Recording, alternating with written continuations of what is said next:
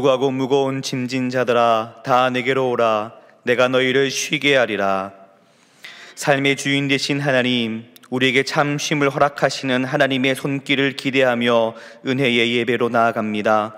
수고하고 무거운 짐을 다 내려놓고 예배를 통해 성령의 임재를 경험하게 하옵소서 또한 하나님이 주시는 평안과 기쁨과 안식을 누리게 하시고 하나님의 말씀을 기억하여 순종의 삶을 살게 하옵소서. 잃어버린 한 영혼을 향한 하나님의 마음을 알게 하시고 열방을 품어 세상으로 나아가는 삶이 되게 하옵소서. 예수 그리스도 이름으로 기원하옵나이다. 아멘.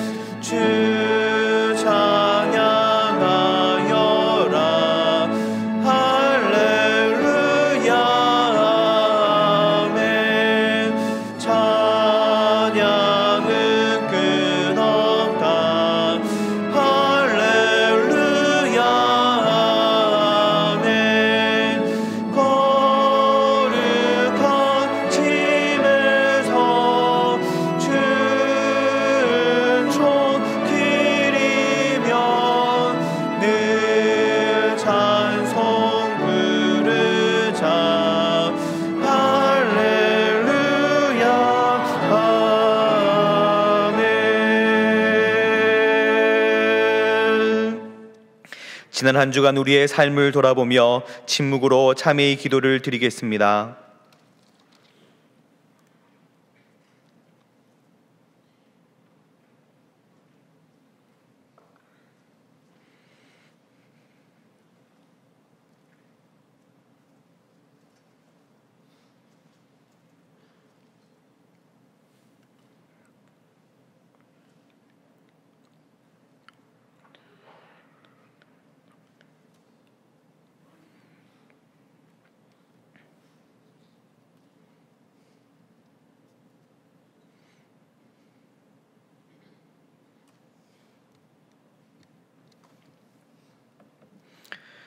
하나님께서 주시는 사죄의 말씀입니다. 내가 내 허물을 빽빽한 구름같이 내 죄를 안개같이 없이 하였으니 너는 내게로 돌아오라 내가 너를 구속하였음이니라 아멘.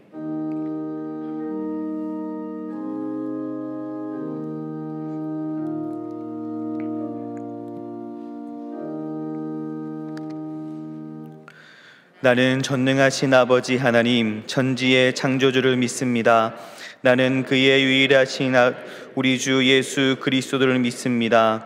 그는 성령으로 잉태되어 동정녀 마리아에게서 나시고 본디오 빌라도에게 고난을 받아 십자가에 못 박혀 죽으시고 장사된 지 사흘 만에 죽은 자 가운데서 다시 살아나셨으며 하늘에 오르시어 전능하신 아버지 하나님 우편에 앉아 계시다가 거기로부터 살아있는 자와 죽은 자를 심판하러 오십니다. 나는 성령을 믿으며 거룩한 공교회와 성도의 교제와 죄를 용서받는 것과 몸의 부활과 영생을 믿습니다. 아멘.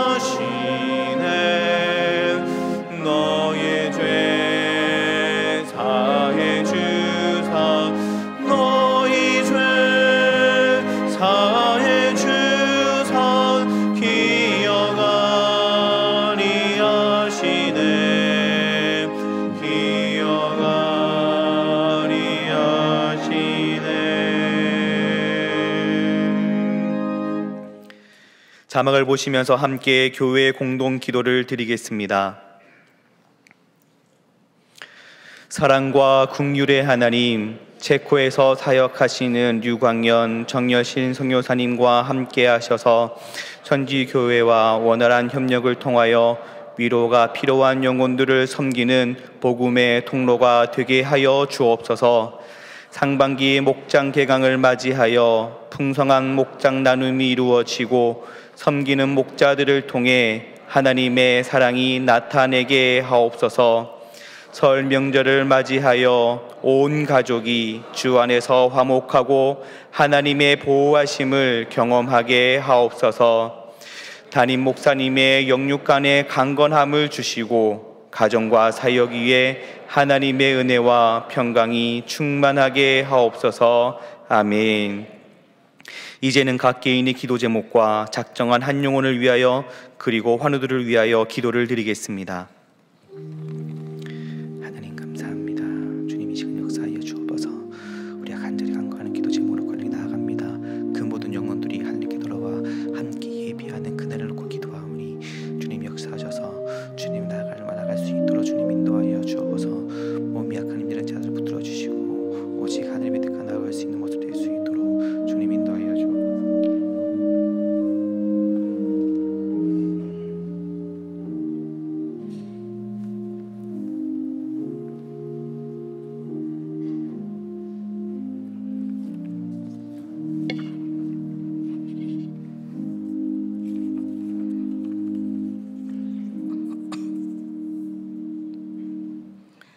사랑과 은혜가 충만하신 하나님 아버지, 2024년 새해를 주시고 1월 한 달을 주님 은혜 안에 살게 하시다가 2월의 첫 주일 꿈과 희망으로 주님 앞에 예배하는 복된 자리에 불러주심에 감사를 드립니다.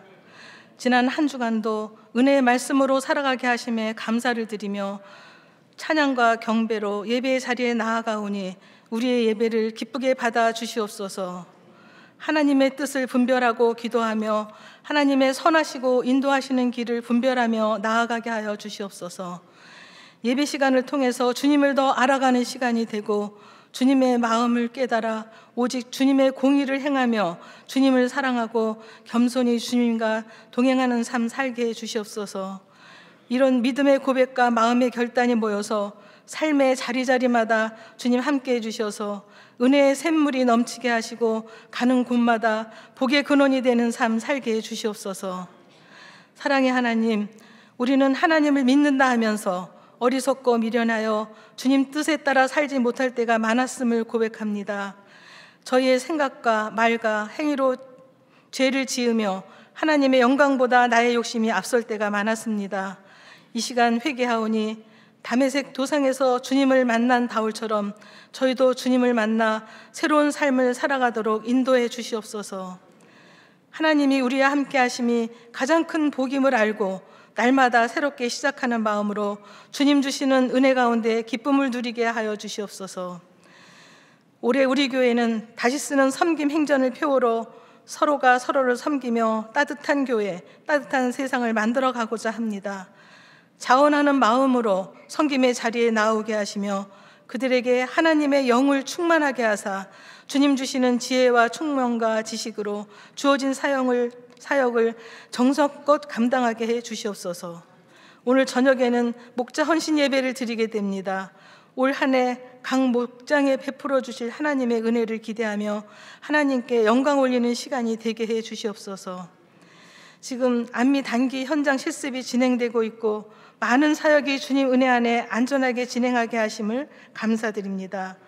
앞으로의 모든 사역 위에 함께 하시어 하나님의 영광을 드러내는 결과를 가져오게 해 주시옵소서. 올해 한 영혼을 품고 기도하여 많은 영혼이 하나님께 돌아오는 기적을 경험케 하여 주시옵고 동안의 성도들 삶의 자리에 함께 하시어 건강을 지켜 주시고 직장과 사업, 사업장을 번성케 하시며 물질적으로도 풍성히 하셔서 나누며 사는 은혜를 베풀어 주시옵소서. 이 주간 설 명절이 다가옵니다. 오고 가는 발걸음을 안전하게 인도하시며 가족과 친지들 간에 화목하게 하시며 주님 은혜 안에 기쁨과 참 평안이 함께하는 복된 명절이 되게 해 주시옵소서. 오늘 예배를 돕는 손길들 칭찬해 주시옵고 그들의 삶이 물된 동산처럼 풍성한 삶이 되도록 인도해 주시옵소서. 김영준 담임 목사님 영육간에 강건하게 하시며 말씀의 능력을 주시어 우리의 영을 새롭게 하시어 우리 모두가 거듭난 삶으로 변화되게 해 주시옵소서. 2024년 새해를 행하실 주님을 기대하며 우리를 사랑하시는 예수님의 이름으로 기도했사옵나이다. 아멘.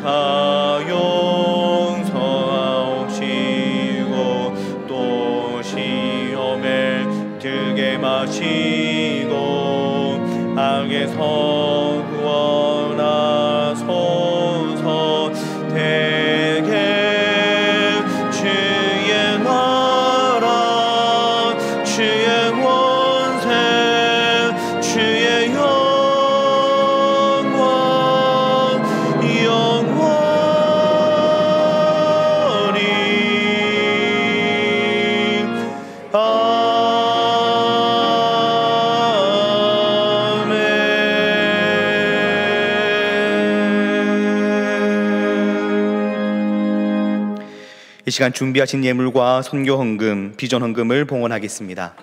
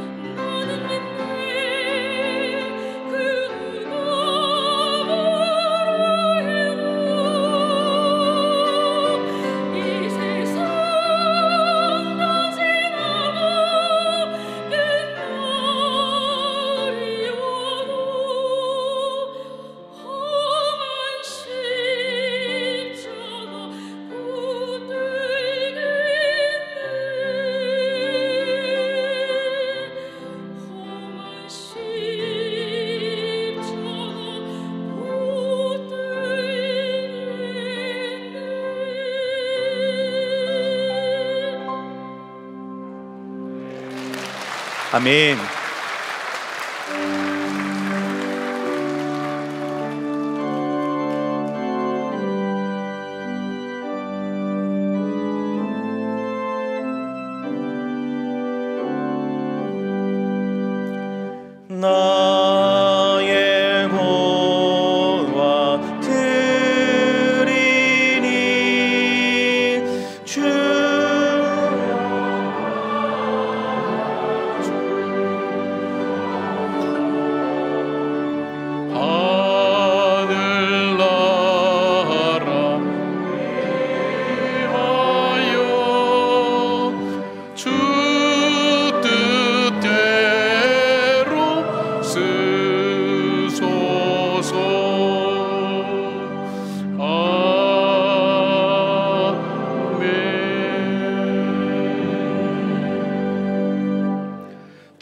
참 좋으신 하나님 주님을 사랑하고 주님께서 사랑하시는 주의 자녀들이 같은 장도 같은 시간에 모여서 하나님 앞에 예배를 올려드립니다.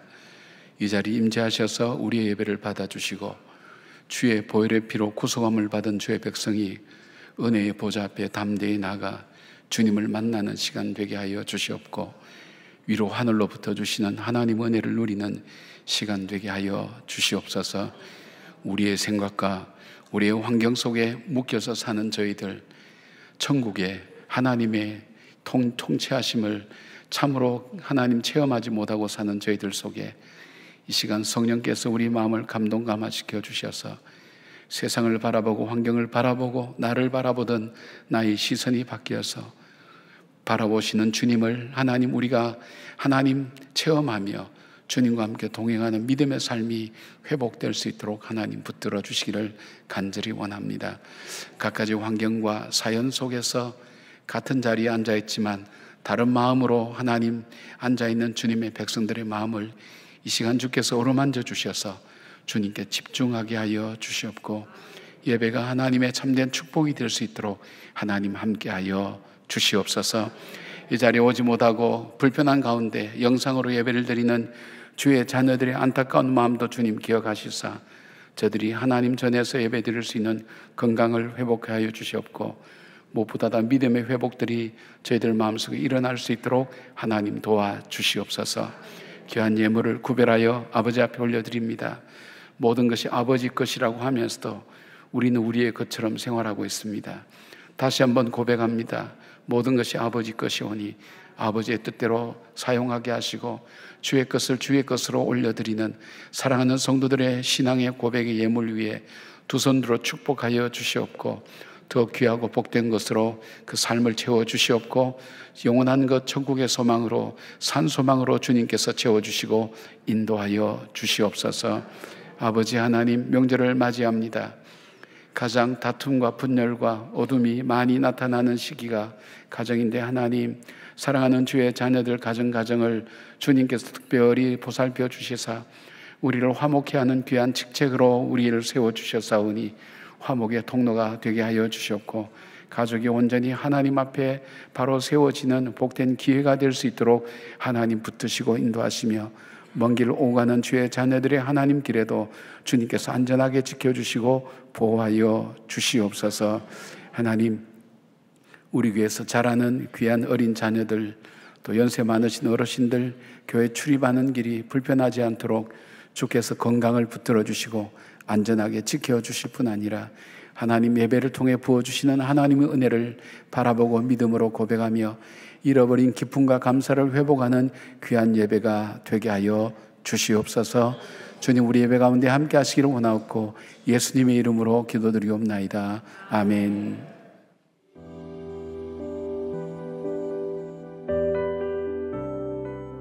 제가 처음 비전 트립을 신청했던 게 2016년도 중학교 2학년 때였는데요. 저는 항상 교회 생활에서 보면 회장도 하고 찬양팀도 하고 밝고 웃음이 많은 아이였지만 항상 외로워했고 본인을 사랑하지 못하는 아이였던 것 같아요. 그러면서 항상 혼자 힘들어할 때 하나님이 정말 계신가? 나와 함께하고 계신가?에 대한 물음이 항상 있었던 것 같고 그래서 하나님을 찾아 헤맸던 것 같아요. 그러던 와중에 비전 트립을 알게 되었고 8기 비전 트립을 신청하게 됐습니다.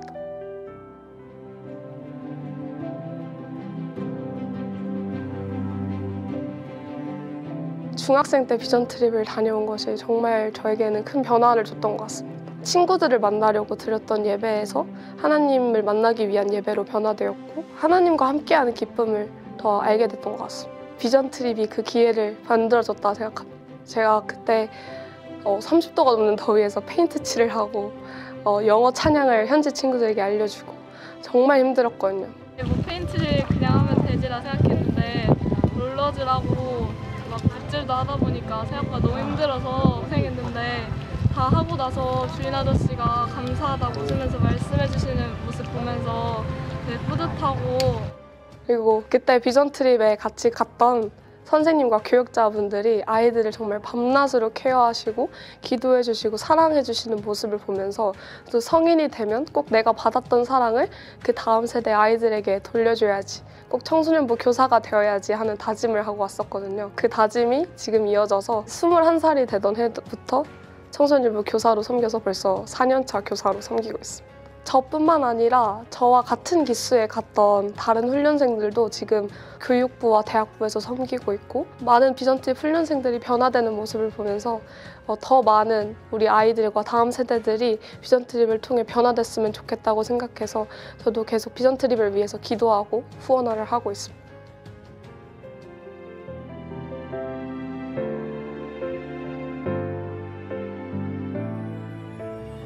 제가 중학교 1학년 때부터 봐왔던 친구들이 이번에 비전 트립에 다녀왔는데요. 그 전에는 조금만 컨디션이 좋지 않아도 아 오늘 예배는 뒤에서 드려도 되나요? 먼저 분반 모임 안 하고 집에 가도 되나요? 큐티하기 싫어요라고 했던 친구들이 이번 비전 트립에서 어, 누구보다 말씀 묵상을 열심히 하고 하나님을 찾고자 기도하고 울부짖으며 찬양하는 모습을 보면서 우리 아이들이 참 많이 변화됐구나 하나님이 참 우리 아이들을 많이 성장시켜 주셨구나 그랬습니다. 하나님 앞에 나의 모든 걸 맡겨드리면서 하나님 없이는 저가 살 수 없는 나약한 존재입니다라는 것을 고백하고 하나님만 의지하면서 내 모든 기준과 초점이 다 하나님께만 맞춰서 살 수 있는 그런 신앙인이 되고 싶습니다. 중학생이 되면서 이 아이가 엄마랑 눈도 잘 안 마주치고 자기 하고 싶은 말만 하고 뭐 방문 닫고 들어간다고 얘기 드렸는데 돌아오는 날 환영회 때 아이가 엄마를 보면서 눈을 마주치고 반짝반짝 웃는 거예요. 너무 감 격을 했고요. 자기 간증을 하는 거예요. 하나님을 만난 이야기를 하는데 앞으로는 하나님 안에서 사랑하면서 살 거야. 엄마 이게 내 비전이야. 라고 이제 본인이 막 고백을 하는 거예요. 제가 너무 감격적이었어요. 훈련생들을 위해 비전 헌금으로 기도해 주시고 후원해 주신 성도님들께 진심으로 감사드립니다. 그리고 제가 경험했던 비전 트립이 계속해서 이어질 수 있도록 기도와 후원 부탁드립니다. 예, 비전 헌금에 참여하는 분들을 위해서 우리가 기도하십시다. 고맙습니다. 영상 보시면서 많은 생각이 들죠. 예, 중학생 때 갔던 그 시간들, 그때 경험들을 기억하면서 그때 약속했던 그 약속을 지키기 위해서 지금 청소년부 교사로 섬기고 함께 참여하고 후배들을 양육하고 기르는 교사로서 함께하는 우리 모습들을 볼 때, 근데 비록 이 자매만 그런 것이 아니라 많은 사람들이 많은 우리 젊은이들이 지금 대학부나 청년부에서 이 비전 트립을 갔다 오고 난 이후에 바뀌고 변화된 삶입니다. 그래서 처음 시작할 때는 참 어려웠습니다. 뭐 주변에 부정적인 시각도 있었고 또 뭐 다른 여러 가지 뭐 여행 가는 거 아닌가 그렇게 했는데 우리 선생님들이 함께 가서 돌보고 우리 교육자들이 함께 섬기고 하면서 또 제가 그 비전 트립 갈때 쭉 한 바퀴 다 돌았습니다. 돌아보고 인솔하실 선교사님들 다 만나보면서 어, 어떤 마음들과 어떤 생각을 갖고 있는가 하는 것을 점검하고 또 우리 자녀들 보내도 괜찮겠다 그렇게 생각하게 됐습니다. 그래서 우리가 한 해는 어, 동남아의 중학생들 중학교 2학년은 김정은이가 무서워서 못 내려온다 그러잖아요. 중2가 중2 학부형들 계시면 얼마나 무서운지 아실 거예요. 그 아이들을 정말 우리가 함께 선교 현장에 가서 어, 이 현장 역사를 보고 또 그 선교사님 통해서 듣는 기독교적인 세계관을 통해서 하나님을 만나는 그런 역사들을 경험하게 되고 또 한 해에는 어, 우리 고등학생들을 유럽으로 보내어서 종교 기억지를 돌아보게 만들고 역사 현장을 보게 하면서 어, 그곳에 계신 하나님을 만나면서 자기의 진로를 결정하고 선택하는 굉장히 중요한 일입니다. 그래서 오늘 어, 예배 여러분 그 주보의 간지에 비전헌금 작정서를 이렇게 넣었습니다. 매주 첫째 주 드리게 되는데 하시는 분들은 계속 하시면 좋겠고요. 아직 안 하고 계신 분들은 여러분이 커피 한 두 잔 값 정도 되죠. 두 잔 값 그것이 어쩌면 자라나는 아이의 인생을 바꿀 수 있다. 그런 마음들을 여러분이 한 번이라도 생각하셔서 어, 조금 함께 참여하는 마음을 나눴으면 좋겠습니다. 그 쓰시고 나갈 때 저 뒤에 내어주시면 어, 저희들이 그렇게 기록하겠습니다. 우리 오늘 예배 오신 여러분들을 환영하고 축복합니다. 우리 예배당에 나와서 드리는 예배를 드리는 분들이 많아져서 얼마나 감사한지 모르겠습니다. 여러분이 믿음이 잘 자라고 또 코로나가 잘 종식되고 또 그러면서도 우리 신앙이 다시 어, 우리 맨낯을 보여줬죠. 우리 신앙의 모습들. 근데 참 하나님께 예배드리는 그런 삶이 되어야 되겠다. 그런 결단을 하고 나오신 여러분들이 참 대단합니다. 대단한 분들끼리 인사를 좀 나누시죠. 우리 좌우로 보시면서 주의 평강을 기원합니다. 주의 평강을 기원합니다.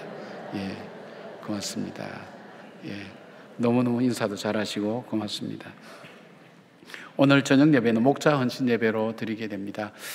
어, 우리가 신앙생활을 할 때 신앙생활이 예수를 믿고 난 다음에 거듭난 다음에 성장하셔야 됩니다. 근데 이 성장은 우리가 설교 때나 이렇게 예배만 드리고 가면 하나의 어떤 전환점을 만들어 줄 수는 있어요. 그러나 우리 신앙이 성장하는 것은 목장에 속해서 그들과 부대끼면서 성장하는 겁니다. 다 좋은 사람만 있는 건 아니에요.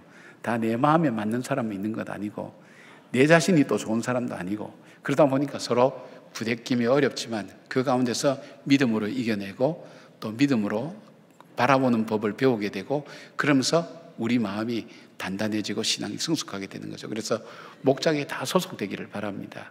소속되어서 또 영적인 도움도 받고 함께 나눌 수 있도록 예, 그런 일을 담당하는 분들이 목자들인데 예, 정말 귀한 분들이죠.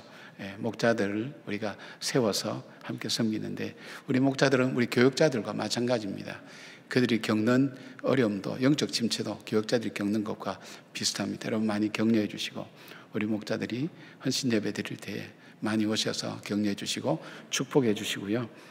어, 이번 주 수요일은 상박이 목장 개강 예배가 시작되니까 여러분 기억하셔서 함께 나오셔서 예배도 드리시고 점심 식사도 같이 할 수 있었으면 좋겠습니다.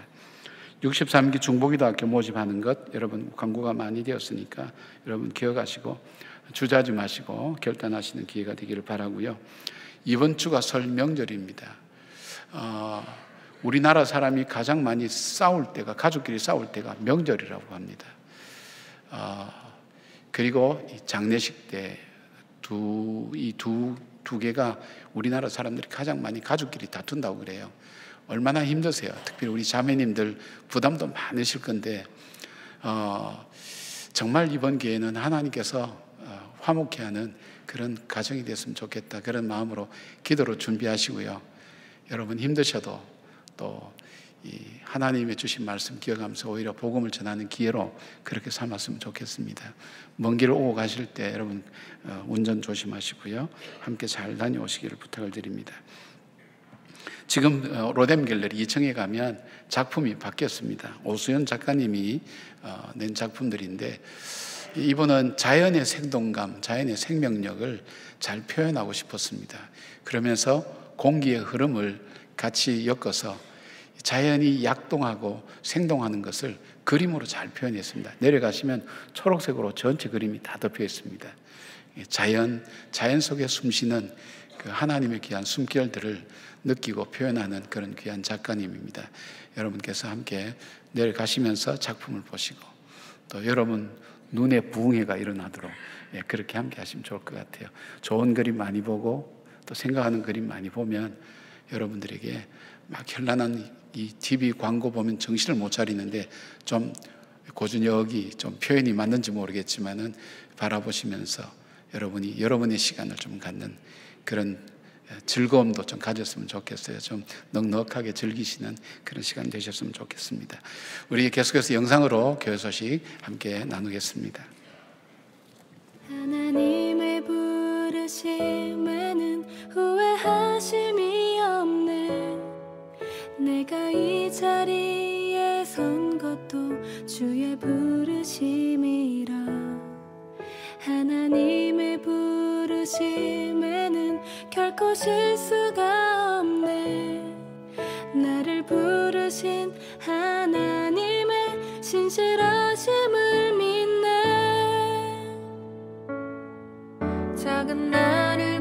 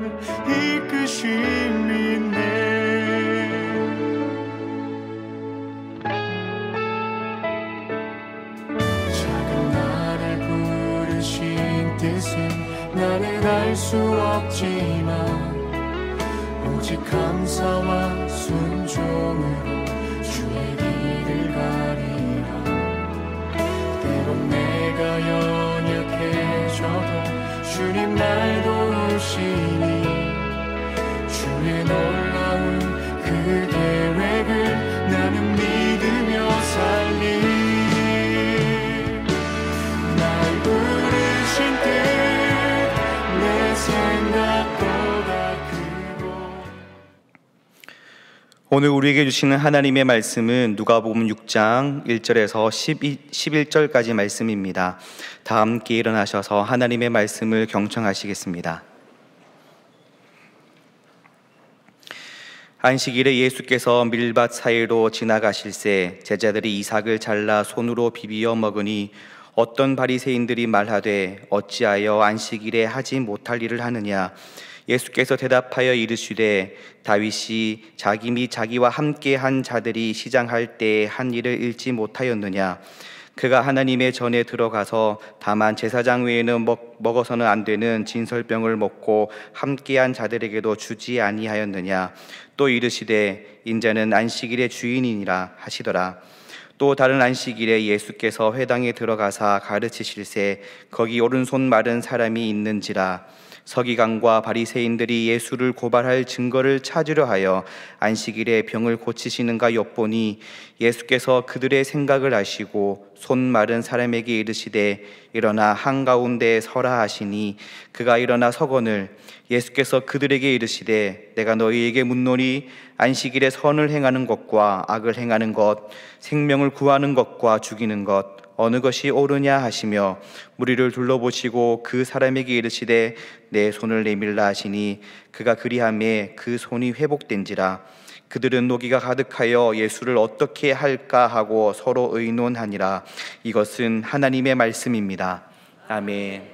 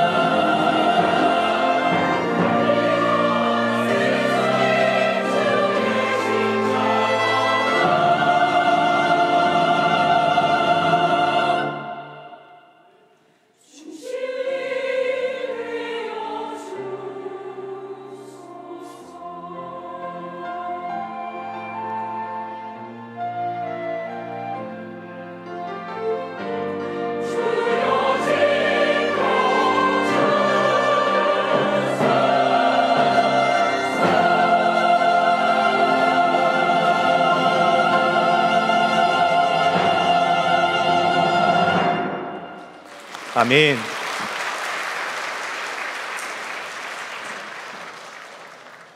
예, 귀한 찬양 감사드립니다. 중간에 아멘 하셔서 사이가 어색하지 않도록 만들어 주신 두 분께 특별히 감사를 드립니다. 찬양 감사합니다. 예. 예, 우리 방송실에서 지혜롭게 하셔서 저도 처음에 실수를 많이 했거든요. 근데 마지막 줄은 한 줄만 나오게 돼 있어요. 그 모르셨죠? 숨겨진 코드였는데 예, 그것 보고 끝나는 줄 아는 겁니다. 예, 그러니까 앞으로 참고하시기 바랍니다. 여러분 신앙생활 하면서 가지, 가장 많이 듣는 이 단어가 바로 성수주의라는 단어일 겁니다. 이 단어에 대한 부담감이 우리에게는 많죠. 그래서 꼭 주의를 지키지 않으면 벼락 맞을 것 같은 그런 불길한 예감 때문에 교회를 나오다가 나오다가 나오다 보니까 오늘 여기까지 오신 분들이 적지 않죠. 저도 처음에 그렇게 생각했으니까요. 그런데 교회를 떠난 많은 분들 중에 어, 한 주 빠져봐도 안, 벼락이 안 떨어지거든요. 두 주 되니까 더 좋은 일들이 생기거든요. 그러면서 멀어지기 시작한 분들도 적지 않습니다. 그리고 또 하나 성수주의라면 뭔가를 안 해야 된다는 그런 강박관념 같은 것이 우리 마음속에 찾아오면서 성수주의에 대한 것은 우리에게 부담감이 있으면서 그렇게 좋은 의미로 우리가 꼭 지켜야 될 의미로 다가오는 것이 아니라 어쩌면 죄책감 같은 것도 우리에게 주기도 하고 부담감을 주는 그런 단어이기도 합니다. 요즘은 코로나 이후에 성수 주일에 대한 그 생각들이 많이 희박해지면서 한편으로는 많이 자유로워졌지만은 또 다른 한편으로는 우리가 해야 될 신앙에 있어서 가장 중요한 기본적인 것을 우리가 잃어버리면서 살아가지는 않는가 하는 그런 생각들을 많이 하게 됩니다. 아, 통계를 보면 자기는 그리스도인인데 주일에 교회는 나가지 않는다고 답하는 사람이 점점 많아지고 있죠. 그래서 이분들을 가나안 교회라고 그렇게 얘기합니다. 가나안 교인들. 예, 가나안 교회라는 것은 거꾸로 하면 안 나가 그런 교회입니다. 그러니까 이게 교회에서 세상으로 안 나가 이렇게 돼야 되는데 교회로 안 나가 이렇게 돼 이렇게 가난 되는 거예요. 이게 가난의 의미가 완전히 바뀌어졌죠. 여러분은 가난 교인이 아니라 나가는 교인 되어서 얼마나 복된지 모르겠어요. 그런 면에서 여러분 참 귀한 자리에 귀한 복된 자리에 오셨다는 것을 말씀해 봅니다. 자 그렇다면 우리에게 이런 의문이 들어갑니다. 안식일 우리가 옛날에 구약 시대 때 시켰던 그 제사의 규례나 안식을 신약 시대도 계속 지켜야 되는가 이런 생각이 들어갑니다. 예, 그러면서 이것에 대한 의미에 대해서 우리가 잘 알지 못하고 그냥 주일날 나오면 그냥 좋지 신앙생활 하는 것이 주일날 예배 나오는 것이 이 생각에서 머물러 버리기가 참 쉽습니다. 어, 신학자 칼빈은 율법의 제3용법, 제3사용이라는 그런 단어를 쓰는 사람인데요. 우리가 예수 그리스도의 십자가와 부활로 인해서 구약의 어떤 제사와 어떤 모든 규례 같은 것이 완성이 됐죠. 예수 그리스도의 십자가로 말미암아 또 부활로 말미암아 완성이 되어서 더 이상 그것을 지키거나 그렇게 할 의무나 또 그런 어떤 강박감을 가질 필요는 없지만 그럼에도 불구하고 우리는 율법을 통해서 우리의 죄를 깨닫게 만들게 되고 율법을 통해서 또 하나님의 뜻이 무엇인가, 하나님 원하시는 게 무엇인가 알 수 있는 굉장히 중요한 역할을 한다고 해서 율법의 제3 사용이라고 했습니다. 예, 극단적인 어떤 분들은 구약의 모든 일이니까 다 폐기시켜야 된다고 생각하는데 그렇지 않다는 것을 말씀하고 있습니다. 예수께서 십자가에 죽으시고 부활하심으로 율법을 이루신 오늘날에는 더 이상 구약의 제사법과 율법에 매일 필요는 없지만 그러나 그 정신과 의미를 기억하고 지키는 것은 여전히 중요한 것입니다. 일반적으로 오늘날의 주일은 예수님이 부활하신 주일로 바뀌었지만은 구약의 안식의 의미를 완성하고 승화시켰다고 믿고 있기 때문에 주일의 의미를 안식일에서 찾아보는 것은 굉장히 중요합니다. 그러면서 왜 주일 성수가 중요한가 하는 부분들에 대한 여러분들이 나름대로 신앙적인 그런 고백들이 있었으면 좋겠다. 그런 의미에서 안식일 의미를 우리가 한번 찾아보겠습니다. 자, 안식일은 어떤 날입니까? 첫 번째 안식일은 하나님께서 만드신 날입니다. 5절 말씀 보니까 인자는 안식일의 주인이니라 하시니라. 이건 엄청난 선포입니다. 아무도 쓰지 않았던 표현입니다. 인자는 인자는 이 그리스도는 안식일의 주인이리나 이것은 하나님의 절대 주권을 선포하는 것과 마찬가지입니다. 그리스도는 성부 하나님과 함께 천지를 창조하시고 7일 만에 안식하셨습니다. 이스라엘 백성이 출애굽할 때에 율법으로 안식일을 지킬 것을 명령하셨습니다. 그리고 안식일을 지키는 것이 하나님의 언약 백성됨을 나타내는 표징이라고 말씀하셨습니다. 출애굽기 31장 13절에 보니까 너는 이스라엘 자손에게 말하여 이르기를 너희는 나의 안식일을 지키라. 이는 나와 너희 사이에 너희 대대의 표징이니 이는 너희를 거룩하게 하는 여호와인 줄 너희가 알게 됨이라. 하나님을 분명히 알게 되는 그런 것으로서 또 이 백성들이 하나님의 백성됨을 알게 되는 것을 분명히 하기 위해서 안식일을 지키라고 주님께서 율법으로 명령하신 것입니다. 그러는 의미에서 안식일은 모든 율법과 절기의 기본적인 것이라고 말할 수가 있습니다. 본문에서 예수님이 이 바리새인들과 서기관들 율법을 잘 아는 이 사람들 앞에서 인자는 안식일의 주인이라고 선언하신 것은 백성들이 잊어버린 안식일의 참된 의미를 되찾고 하나님 백성됨을 깨닫게 하기 위한 목적이라면 오늘 예수님은 동일하게 오늘 우리에게도 말씀하실 겁니다. 인자는 안식일의 주인이라고. 자, 그러면 안식일을 가장 잘 지키는 방법이 뭘까요? 그것은 안식일의 주인이 무슨 일을 하시는지, 안식일의 주인께서 무슨 말씀을 하시는지, 안식일의 주인 되신 주님께서 무엇을 기뻐하실까를 생각하며 행하는 것입니다. 창세기 2장 16절부터 17절까지 보니까 천지를 창조하시고 하나님께서 아담에게 이렇게 말씀하십니다. 여호와 하나님이 그 사람에게 명하여 이르시되 동산 각종 나무의 열매는 내가 임의로 먹되 선악을 알게 하는 나무의 열매는 먹지 말라. 내가 먹는 날에는 반드시 죽으리라 하시니라. 자, 하나님께서 왜 해필 선악과라는 것을 만들어서 그것을 먹는 날에는 죽게 된다고 말씀하시면서 인간으로 하여금 죄질 걸 아시면서도 왜 만드셨을까? 사람들이 일반적으로 질문을 많이 합니다. 하나님께서 우리 인간에게 주신 것이 자유의지거든요. 예, 하나님께서 이 인간에게 아담에게 선악을 알게, 선악을 알게 하는 나무 열매를 먹지 말라고 하셨던 것은 사단이 말하는 것처럼 열매를 먹으면 눈이 밝아져서 하나님과 같이 될 것을 두려워하셔서 주님께서 그렇게 말씀하셨나요? 아닙니다. 그들의 일상을 통해서 하나님 말씀을 기억하고 하나님을 하나님됨으로 여기는 그 삶을 살고 있는가 하는 것을 주님께서는 보기를 우리에게 원하셨습니다.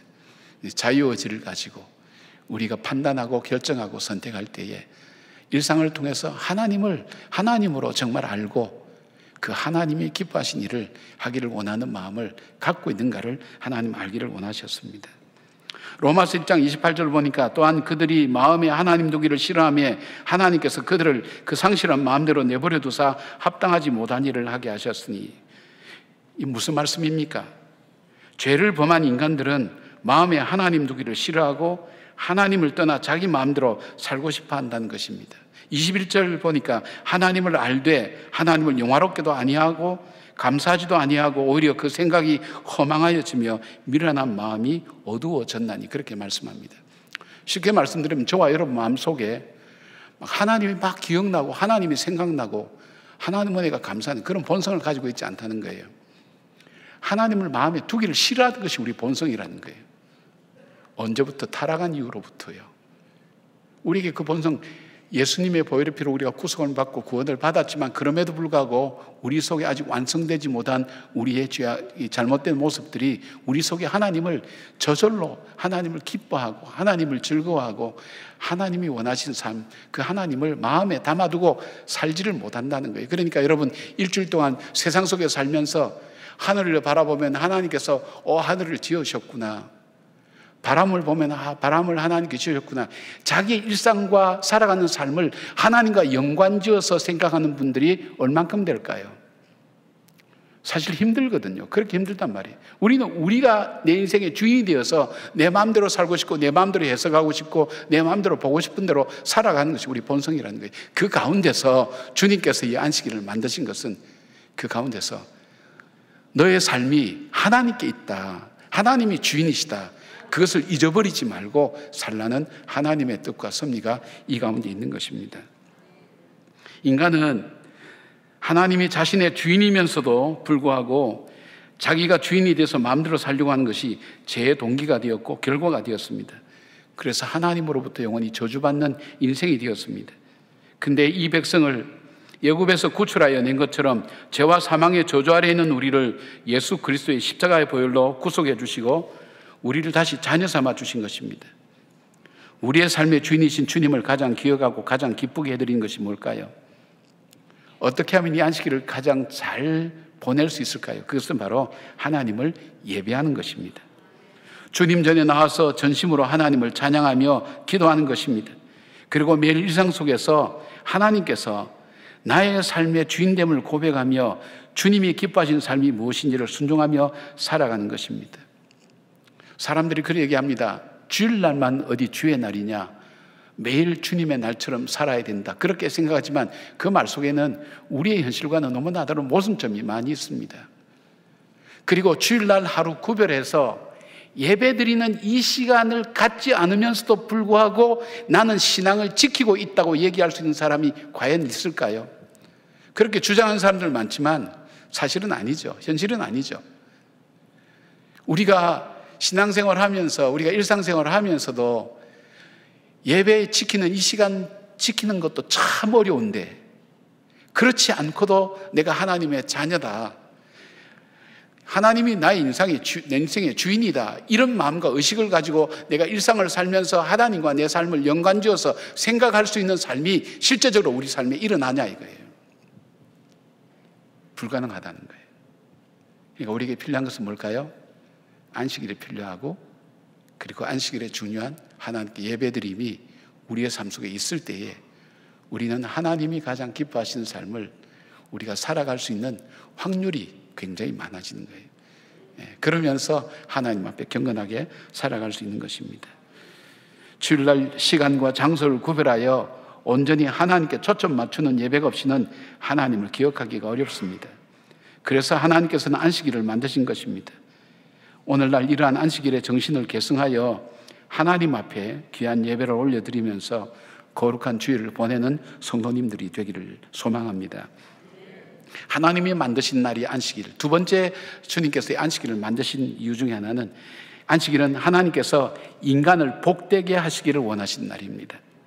출애굽기 20장 11절 보니까 이는 엿새 동안에 나 여호와가 하늘과 땅과 바다와 그 가운데 모든 것을 만들고 일곱째 날에 쉬었음이라.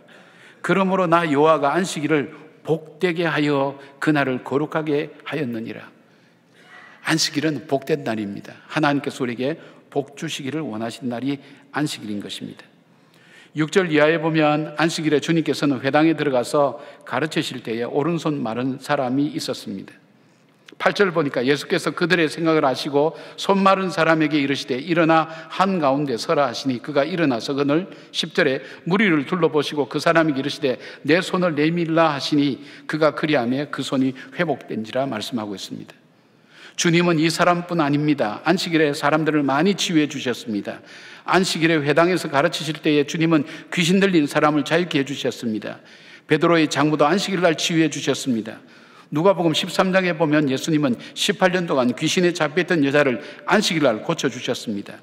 바리새인과 서기관들은 예수님께서 안식일에 치유하시는 걸 보면서 11절에 보니까 그들의 노기가 가득하여 예수를 어떻게 할까 하고 서로 의논하니라 라고 했고 같은 사건을 기록한 마태복음 12장 14절에는 예수님을 어떻게 죽을 것인지를 의논하였다고 했습니다. 자, 그러면 예수님은 이토록 서기관들과 바리새인들의 강렬한 반발을 하시면서도 치료하신 이유가 뭘까요? 안식일을 배경으로 예수님께서 치유하심으로 안식일의 주인 되심을 드러냄과 동시에 주님은 안식일을 복되게 하신다는 약속의 말씀을 이루시는 것입니다. 그래서 마가복음 2장 27절에 이렇게 말씀합니다. 또 이르시되 안식일이 사람을 위하여 있는 것이요 사람이 안식일을 위하여 있는 것이 아니니라고 그렇게 말씀합니다. 안식일을 지킬 때 하나님께서 은혜와 복을 주신다는 것입니다. 여러분 아픈 사람에게 있어서 특별히 불치나 난치병 가진 사람에게 있어서 최대의 축복이 뭐라고 생각하십니까? 병이 낫는 겁니다.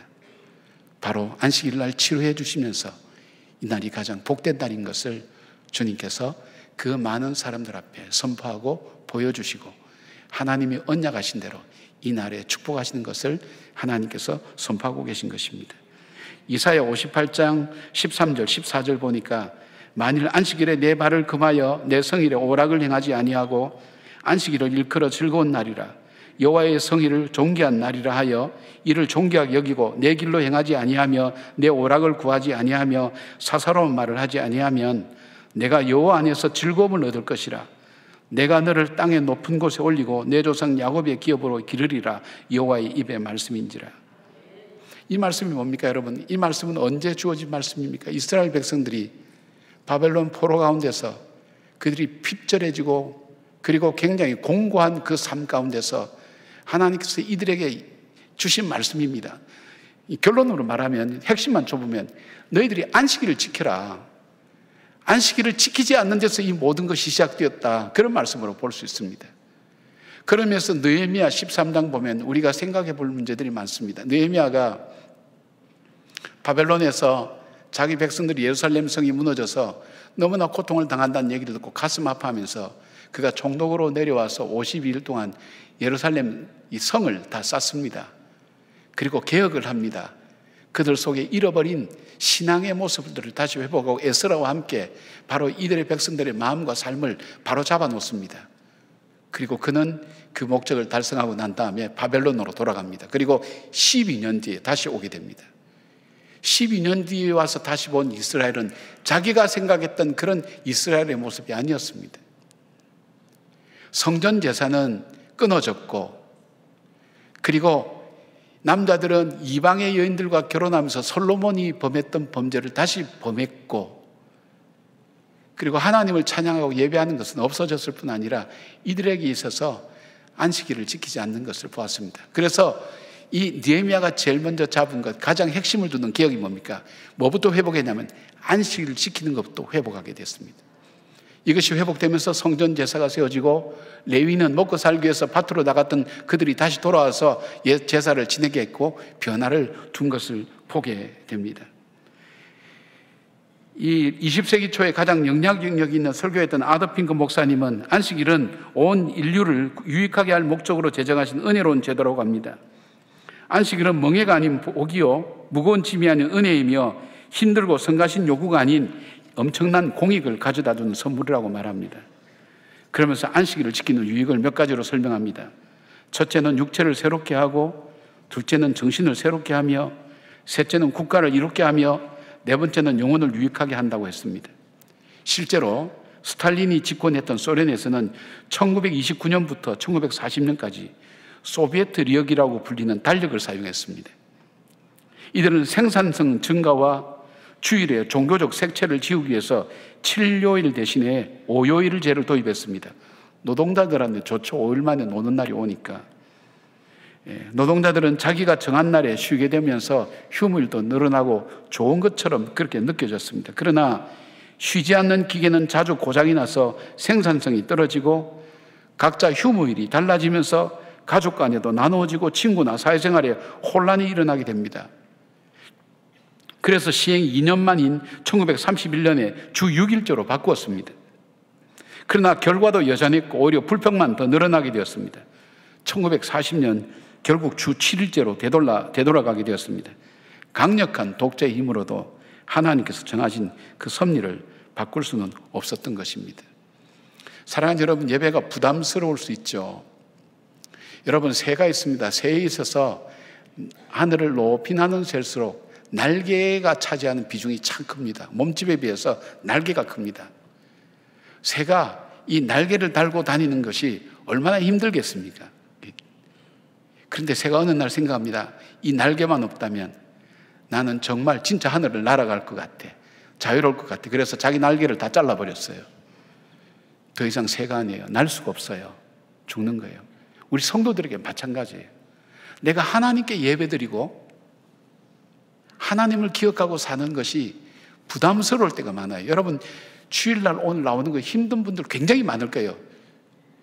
일주일에 하루 쉬는데, 혹은 이틀 쉬는데, 연달아 어디서 쉬기 좋은데 꼭 주일이 걸린단 말이에요.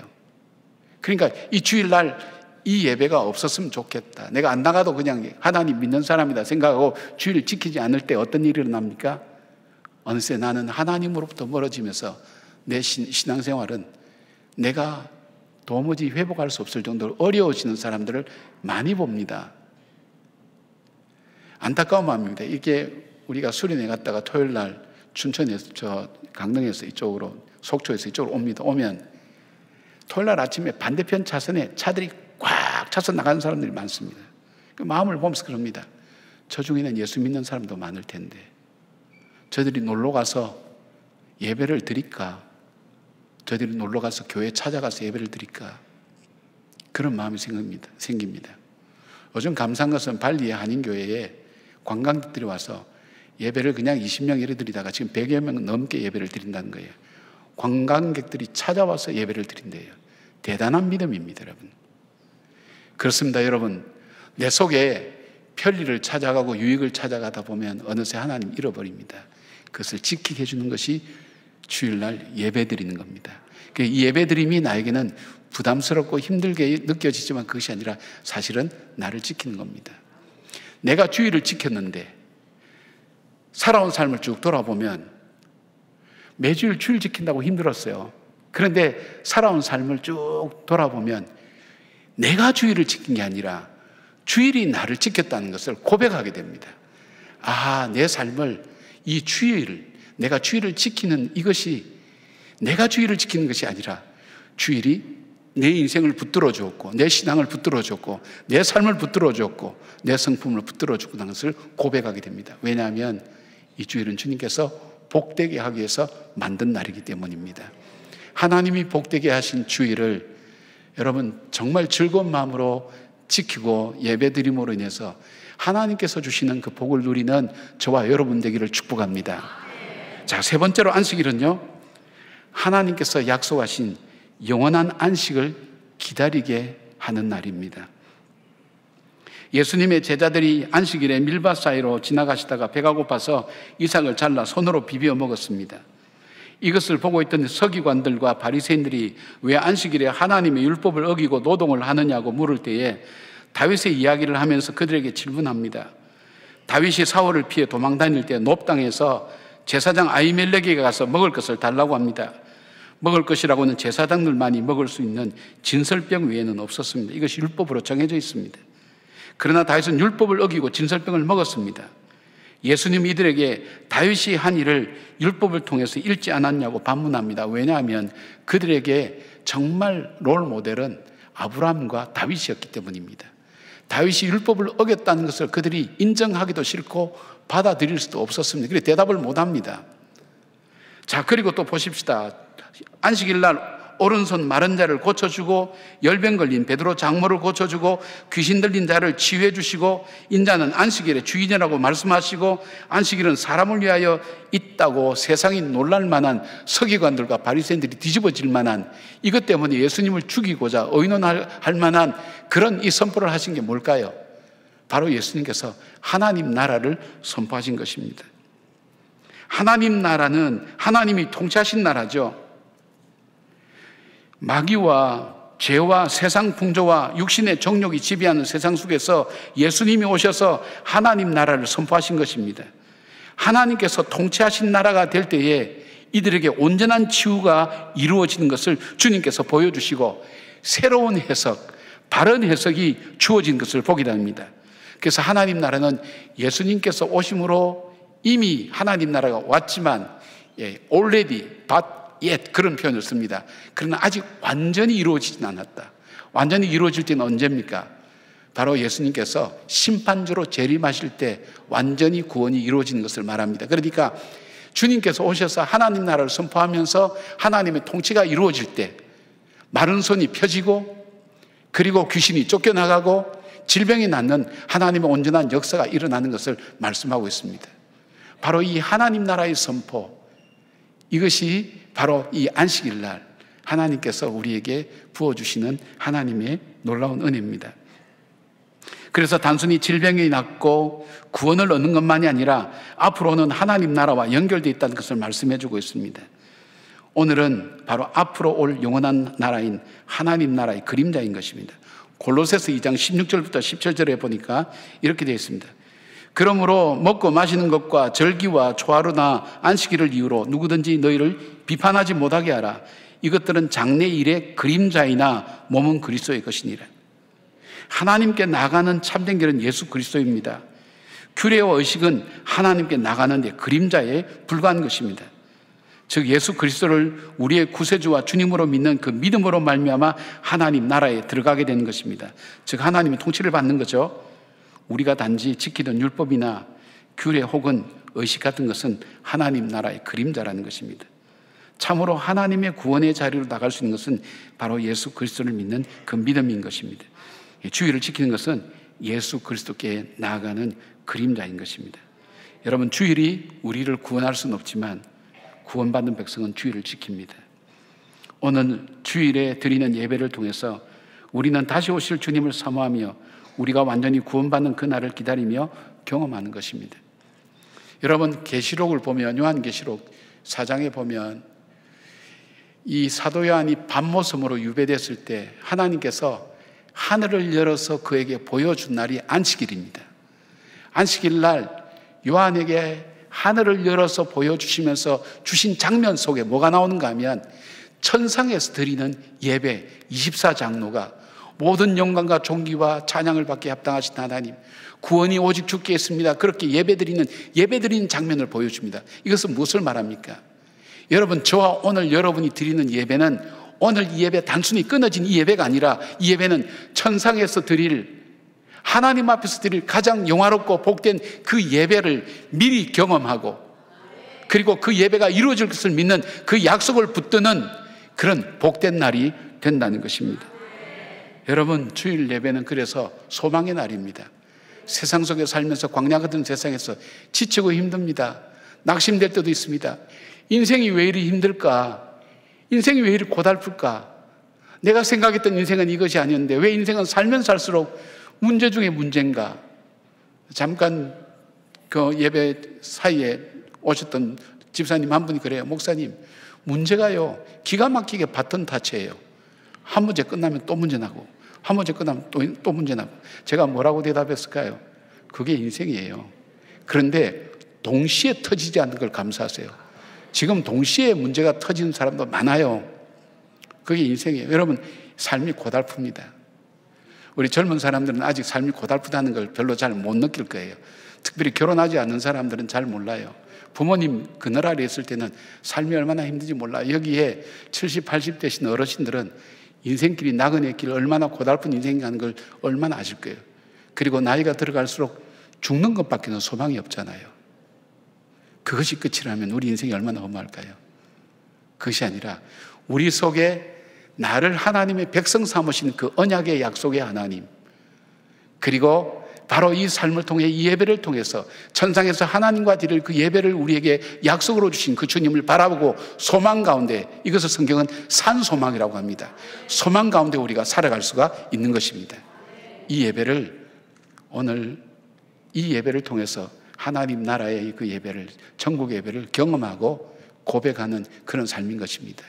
그래서 오늘 예배를 통해서 우리는 뭐예요? 하나님께 주신 그 언약을 다시 되새긴 날입니다. 주님께서 약속하신 그날 우리의 삶을 의와 희락과 화평의 하나님 나라로 인도하실 그 주님의 약속을 붙들고 광야 같은 세상 속에 낙담하지 않고 일어나서 걸어가는 복된 날이 되는 것입니다. 여러분 결혼할 때 주례자가 사랑의 징표로 무엇을 주겠습니까? 하면 신랑 신부가 반지를 교환합니다. 링이라고 하는 것. 사랑은 영원히 끝이 없고 계속 이어지는 거다는 그런 의미에서 링을 교환하죠. 그럼 신랑은 먼저 그 반지를 어, 들어서 신부의 약지 있죠. 이 네 번째 손가락에 끼워줍니다. 왼쪽 손 네 번째 손가락에 흔히들 그렇게 끼워줍니다. 엉뚱하게 끼워준 사람도 혹시 있을지 모르겠어요. 안 맞아가지고 딴 데로 끼워준. 맞출 때하고 지금하고 다릅니다. 뭐 이렇게 얘기하는 사람도 봤어요. 예. 그동안에 살쪘다는 얘기죠. 예. 근데 그렇게 합니다. 근데 이 유래가 어디서부터 왔냐면 바로 이 로마 인에서 시작됐다고 하는데 그들은 약지에 베나 아모리스, 즉 사랑의 혈관이라는 것이 있다고 합니다. 이 작은 동맥이 심장부까지 연결되어 있다고 믿었기 때문에 약지에 반지를 끼는 것은 바로 부부의 심장이 영원히 연결된다고 느끼게 해준다는 것입니다. 그리고 특별히 왼손을 선택한 것은 심장에 더 가까운 쪽에 있어서 왼손 약지에 끼워준다고 합니다. 여러분, 그렇다면 오늘 우리는 이 주일 예배를 통해서, 주일을 통해서 이스라엘 백성들은 어떻게 했을까요? 6일 동안 일을 하고 7일째 안식일을 가졌습니다. 6년 동안 일하고 7년째 안식년을 가졌습니다. 그리고 7년을 7번, 77이 49, 그리고 그 다음에 50년째는 희년이라 되어서 완전히 자유케 되는 그런 역사를 경험했습니다. 그리고 하나님 나라로 갑니다. 그렇다면 오늘 예배를 통해서 우리는 무엇을 우리가 확인할 수 있습니까? 아, 이 날은 하나님께서 정하신 날이야. 그리고 그 하나님께서 우리에게 복 주시기 위해서 주신 날이야. 그리고 오늘 이 예배의 이 감격과 예배를 통해서 깨닫는 이 삶, 바로 이것은 우리에게 산 소망 주시는 하나님께 약속 붙들고 천상에서 하나님과 드릴 온전한 예배, 완전한 예배, 그 예배를 삼하며 오늘 걸어가는 그런 약속의 예배가 되는 것입니다. 그 언약을 받은 여러분, 낙심하지 말기를 바랍니다. 오늘 예배를 통해서 우리를 과와 과부처럼 버려두지 않고 그리고 세상 끝날까지 우리와 함께 동행하시겠다고 약속하신 그 약속이 오늘 우리에게 있다는 것을 확인하는 날이기도 합니다. 그리고 우리 주님께서는 우리를 공급하시고 인도하시고 그리고 우리의 삶 속에 주님께서 보호하셨다는 것을 고백했던 다윗의 고백처럼 돋눈의 아침 빛처럼 캄캄했던 내 인생 속에 밝아온 태양처럼 내 인생을 빛나게 하셨고 근심과 걱정으로 가득 찬 이 하늘을 구름 꽉 끼운 그 하늘을 구름 없는 하늘처럼 맑게 만들어 주셨고 비 온 뒤에 새풀이 돋아나는 것처럼 지치고 힘든 내 영혼을 새롭게 살려주셨던 그 하나님의 역사심이 내 인생 속에 있었다고 고백하는 그 다윗의 유언처럼 오늘 저와 여러분의 고백이 예배를 통해서 하나님 내가 다시 삽니다. 예배를 통해서 내가 다시 주님의 나라를 바라봅니다. 예배를 통해서 참 소망을 붙들고 다시 살아가겠습니다는 주님의 언약을 회복하는 귀한 예배가 되기를 주님의 이름으로 축복합니다. 기도하겠습니다. 주님이 오시는 그날 영적 신부로 신랑을 맞이하는 산소망이 우리에게 있음을 고백합니다. 그날과 그 이후를 미리 누리고 있는 이 예배를 통해서 절망스럽고 힘들고 어려운 인생길 걸어가면서도 낙담하지 않고 그 소망 붙들고 그 언장 붙들고 다시 일어서게 하여 주시옵소서. 신랑과 신부가 그 반지를 바라보며 그 언약을 바라보며 그들의 심장이 하나 되며 그 사랑을 끝까지 하나님 이루어 가는 것처럼 주님께서 다시 오시마 주신 그 약속을 붙들고 믿음으로 걸어가는 예배 위에 하나님께서 성령으로 충만케 하여 주셔서 주님이 통치하시는 하나님 나라의 의와 희락과 화평을 경험할 수 있는 귀한 주님의 자녀들 될 수 있도록 하나님 함께하여 주시옵소서. 예수님의 이름으로 기도드리옵나이다. 아멘. 다 같이 일어나셔서 우리 고백과 찬양을 하나님께 올려드리겠습니다.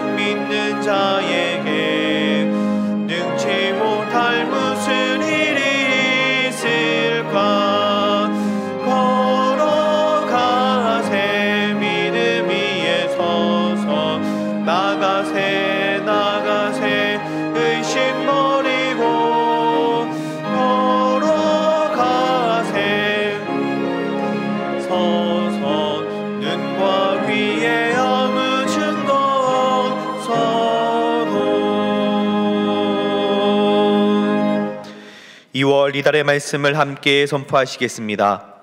각각 은사를 받은 대로 하나님의 여러 가지 은혜를 맡은 선한 청지기 같이 서로 봉사하라. 아멘.